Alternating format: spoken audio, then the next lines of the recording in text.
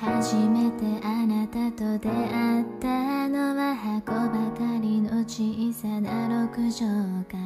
メガネ越しのあなたの瞳はキラキラ輝いてた。それから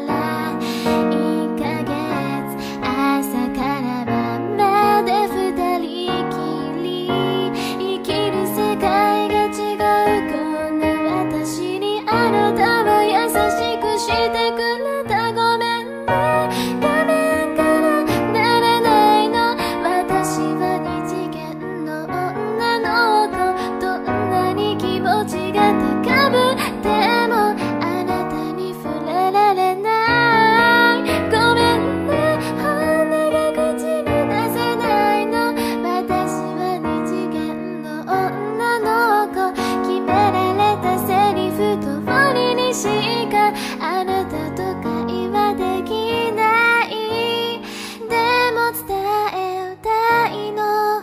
この気持ち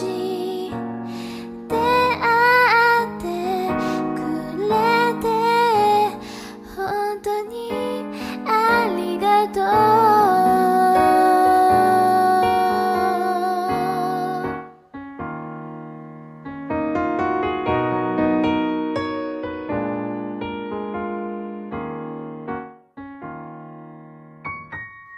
初めてあなたに恋したのはパソコンの中のセーブデータ